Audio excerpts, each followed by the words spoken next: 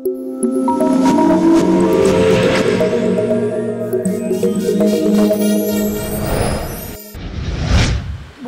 nggak ada gimmick maksudnya gini uh, kalau mereka bikin uh, karena kan aku nggak pernah lihat secara langsung masalah kayak in, apa setiap ada konten baru gitu misalnya dari dari pihak uh, apa Ashanti atau Aurel bikin konten-konten kita nggak pernah setiap saat tahu gitu. Jadi kalau memang katanya ditanyain kalau ada gimmick kata kita justru sih kita nggak tahu. Kita cuma pengen cuma kita hanya tahu masalah kalau yang ditanya gimana rencana rencana pernikahan? Jadi apa enggak? Gitu. Atau mau kapan gitu. Itu memang belum ada omongan. Gitu. Itu dia karena belum ada omongan. Nggak bisa dibilang udah pasti atau enggak.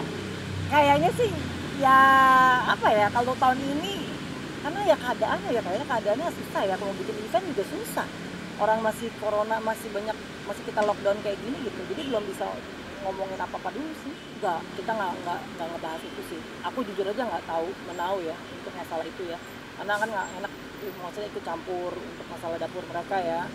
Jujur aku nggak nggak bisa komentar kalau untuk masalah itu karena nggak enak juga mau nanya-nanya gitu. Kalaupun memang tahu juga ya udah yang penting baik-baik aja sih nggak ada masalah. Intinya sih itu uh, intinya kan pengennya semuanya uh, apa ya aman ya. Maksudnya semuanya tur gitu. Maksudnya semuanya juga nggak ada masalah. Maksudnya baik-baik aja. Ya kalau kemarin-kemarin misalnya ada miskom atau apa namanya anak namanya anak sama ibu wajar lah gitu ada miskom gitu. Cuman kan udah kayaknya udah kembali normal lagi udah baik-baik aja gitu. Intinya sih yang aku tahu sih udah nggak diperpanjang masalahnya baik-baik aja. Ya kalau support pasti selalu support. Ya kalau untuk masalah support ya tetap ya keluarga mah dari keluarga aku dari keluarga Ashanti. Kan aku kan memang dari keluarga Ashanti ya.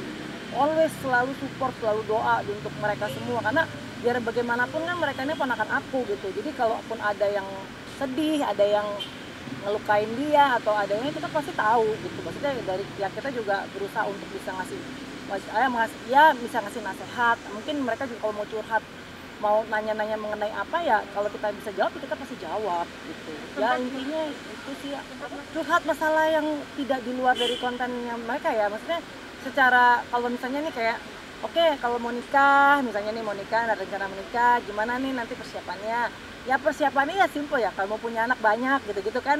Kemarin kan sempat sempat kita goda-godain gitu loh. Waduh kalau jadi nih pasti bakalan ini loh bakalan punya anak banyak gitu-gitu kan. Gitu. Terus ya lucu-lucuan aja gitu ketawa gitu loh. Ah iya nih bun gitu ya. Udah apa kalau misalnya aku punya anak gimana ya? Anak banyak aduh kepikiran nih gini-gini gitu. Ya di ke situ sih arahnya nggak ada yang lebih dari yang saya digoda-godain. Kan kadang-kadang kita iseng juga kadang-kadang kan. Pengen menikah muda emang udah cita-citanya sih. Pengen menikah menikah muda. Pengennya nanti kalau punya anak nggak bisa. Ya, maksudnya kalau udah anak udah gede nggak lama-lama Oke, okay, udah. Ya. Terima kasih.